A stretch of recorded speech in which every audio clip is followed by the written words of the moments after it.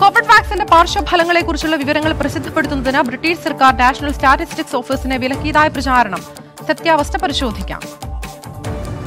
Covid vaccine സ്വീകരിച്ചതിനെ തുടർന്നുള്ള മരണങ്ങൾ പ്രസിദ്ധപ്പെടുത്തുന്നതിൽ നിന്ന് നാഷണൽ സ്റ്റാറ്റിസ്റ്റിക്കൽ ഓഫീസിനെ വിലക്കിയെന്നാണ് വാർത്ത പ്രചരിക്കുന്നത്.